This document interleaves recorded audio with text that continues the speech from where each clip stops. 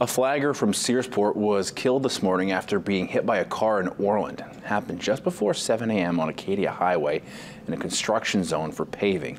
Hancock County Sheriff's Office says a car driven by 70-year-old Clint Clagett of Bucksport struck 24-year-old Charles Resch.